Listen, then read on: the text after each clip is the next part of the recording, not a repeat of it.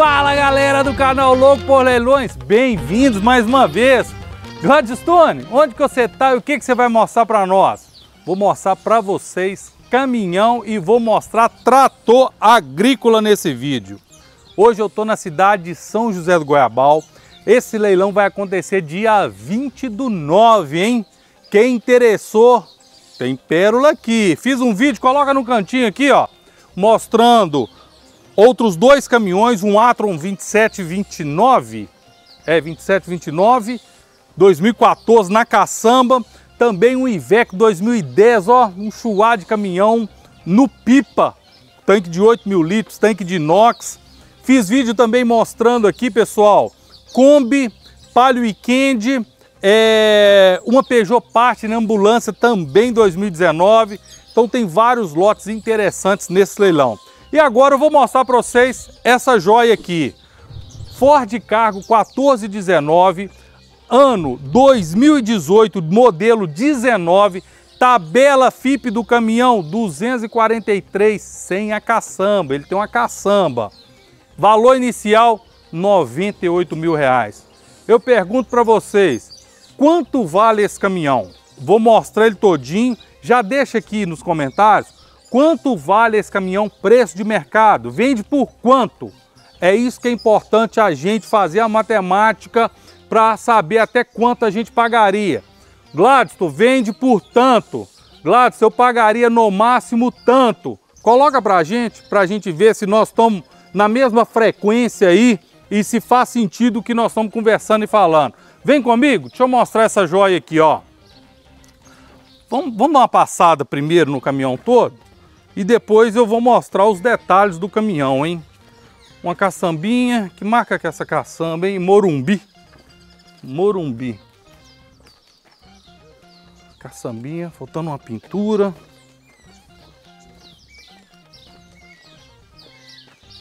Vamos falar mais um pouquinho sobre, tá? Mas eu queria só, só dar uma volta aqui para a gente fazer aquela análise, hein? Ó, vamos começar? Frente do caminhão, nós temos alguns detalhes para arrumar na frente desse caminhão. Para-brisa dele não está trincado, para-brisa ainda original, galera, olha aí, ó. Para-brisa original, os adesivos estão aí, não tem trinca. O capu dele aqui, ó, bonito, não tem problema nenhum também, nada. Agora, nós temos problema aqui de para-choque e escada, tá vendo? Olha aí o degrau como que tá. Para-choque também precisa fazer um trabalho. Cara, isso é uma das coisas mais baratas de caminhão, hein? O lado de cá também, olha aí a situação, ó. Precisa dar um toque de elegância. Um polimento, ele tem um dodói aqui nessa lateral esquerda, ó. Olha aí, ó. Tem um dodói aí. Sinceramente, eu não arrumaria. Depois do polimento ali, uma limpeza, um polimento, eu não mexeria naquilo ali.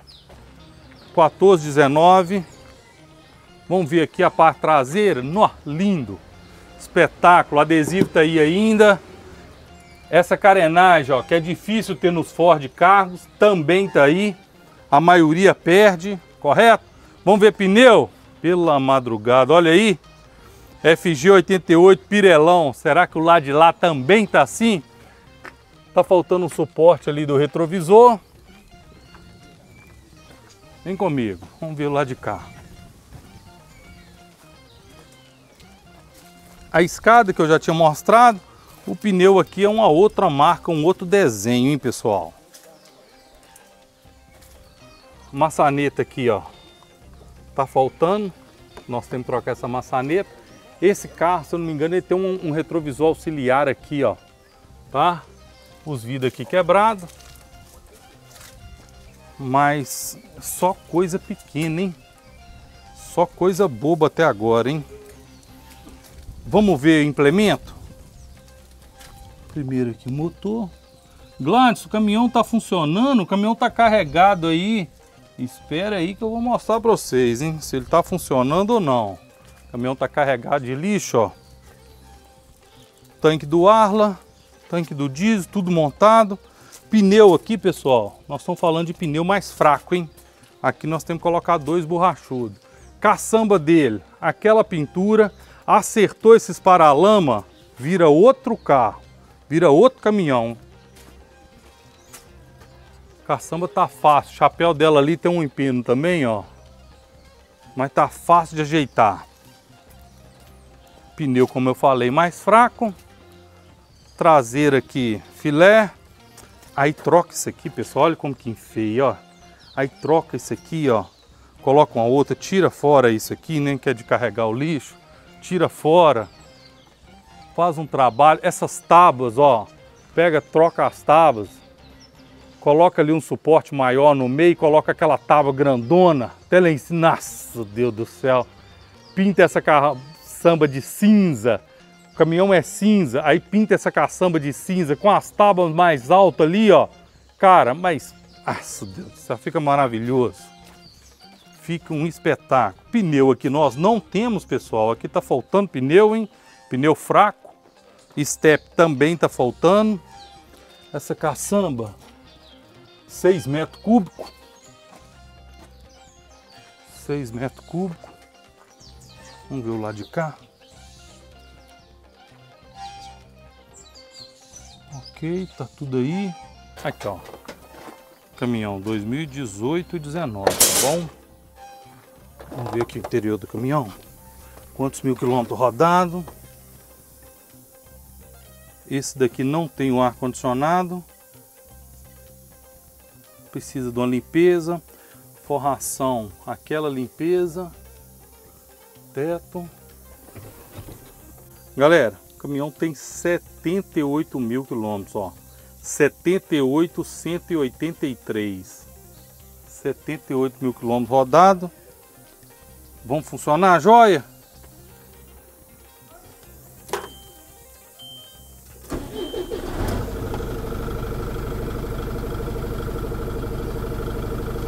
algumas luzes acesas, algum problema ali no alternador ou no sensor que não está mar marcando RPM, olha lá, ó. painel marcando errado, tá vendo, ó? O caminhão tá na lenta, tá marcando 3.500 giros, ó. Ó, tem um problema ali. O Arla, pá, algumas luzes acesas aí que precisa fazer aquele rastreamento para poder descobrir. Mas no mais, olha aí. Vamos desligar a joia. Resumindo a história para vocês. Caminhão está operacional, trabalhando, está carregado de lixo. O outro que faz, que é o compactador de lixo, ele está lá em, em João Molevade, dando uma manutenção. E esse está fazendo o trabalho aí por esses dias. Então, caminhão que está trabalhando. Tem algumas coisas para fazer? tem, como todo caminhão que você vai comprar, que, vai ser, que não vai ser do lojista, do garageiro, da agência, tem coisa para fazer. Isso é normal no mercado. O importante é avaliar. Como eu falei no início do vídeo, é, quanto que vocês acham que esse caminhão, um caminhão desse, 1419, 2019, é vendido no mercado? E quanto vocês acham que seria o valor ideal para pagar nesse caminhão, agora que vocês sabem de tudo que está acontecendo com o caminhão, que ele funciona, que ele está trabalhando, que ele roda e tal, a quilometragem real que ele tem, quanto vocês acham que deveria pagar nesse caminhão? Inicial, 98 mil reais, tabela 243. Eu vou deixar para o final que eu vou falar para vocês quanto que é o preço de mercado de um caminhão desse, ok? Vamos lá ver o trator?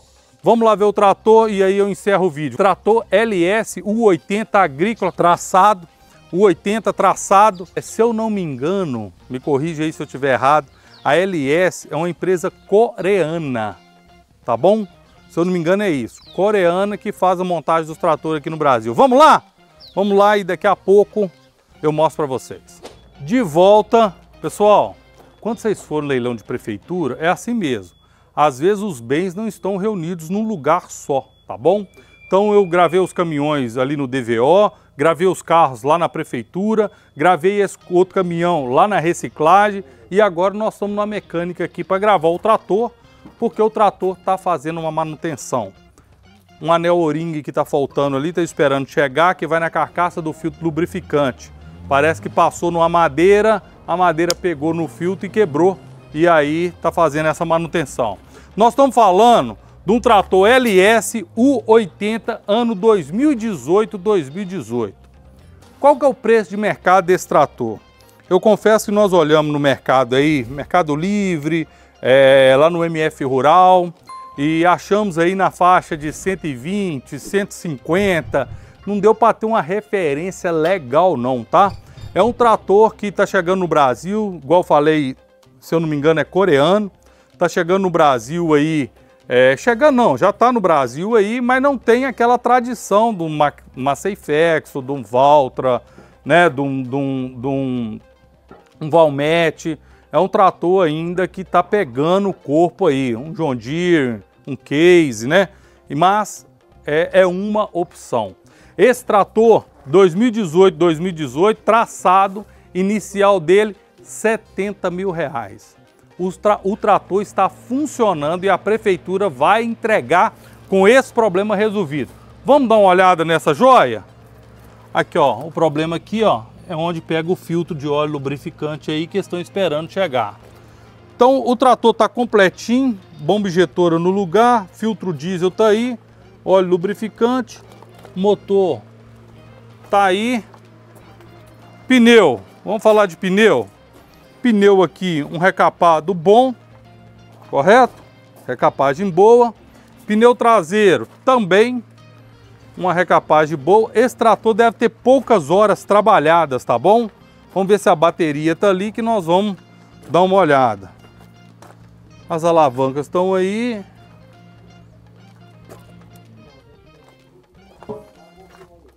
Tomar de força, não tem vazamento aqui.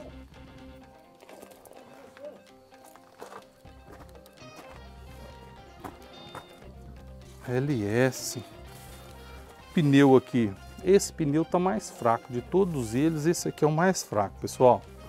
Aqui pneu dianteiro filé.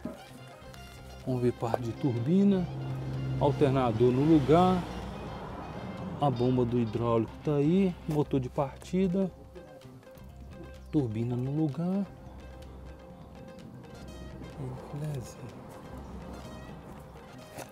Vamos ver aqui. O eixo cardan tá aí o eixo da transmissão. Galera, esse trator quando custou novo em 2018, como quanto custou? Quando comprou ele novo, esse trator foi comprado por 113 mil reais em 2018. Depois teve a alta aí da, da pandemia, né? Que tudo subiu, tudo valorizou muito. Vamos ver se o orímetro tá. 4.465 horas tem o trator nós não podemos funcionar, né? Vocês viram ali que está faltando o filtro lubrificante. Mas o trator está operacional. Trator de 70 mil reais inicial. Gladys, quanto que vai sair? Ô, gente, é difícil falar isso com vocês, tá? Não dá para falar isso, a gente não sabe, a verdade é essa.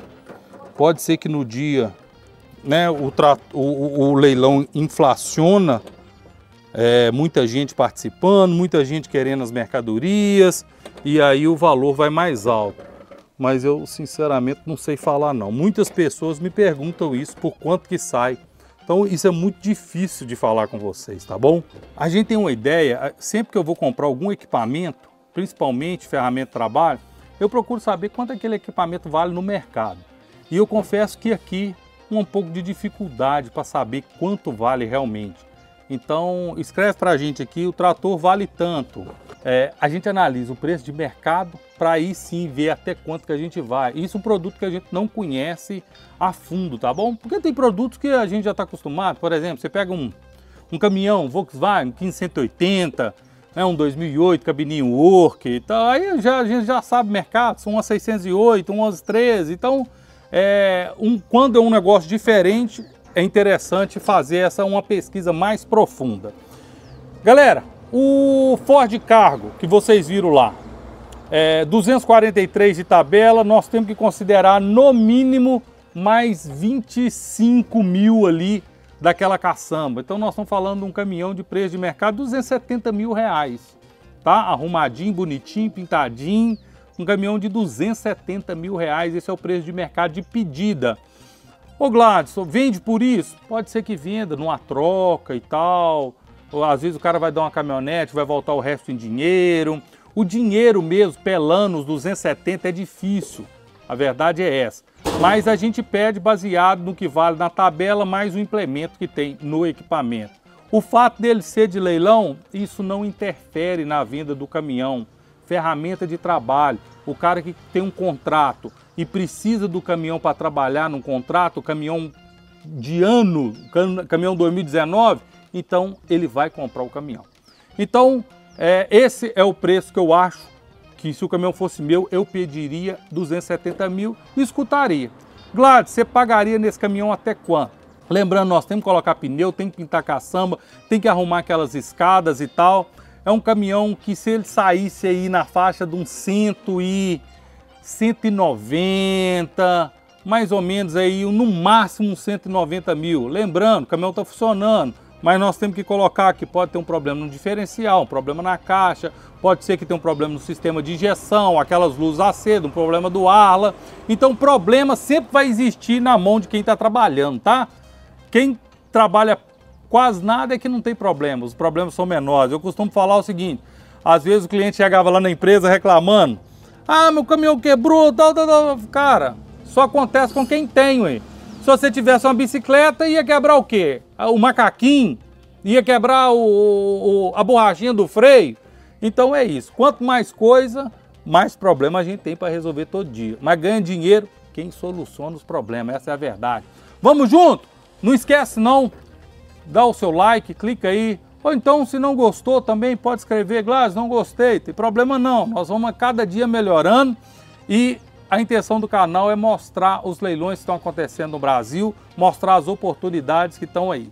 Esse leilão, eu quero ver se eu faço um depois que o leilão passar, tá? Leilão dia 20, já falei isso com vocês, 20 do 9. Quer saber o site? Escreve assim, eu quero saber, que a gente coloca aí para vocês. Dia 20 do 9 eu quero fazer um vídeo mostrando por quanto que os lotes saíram. Quem ganhou dinheiro no leilão, o que que compensou ou se não compensou, tá bom?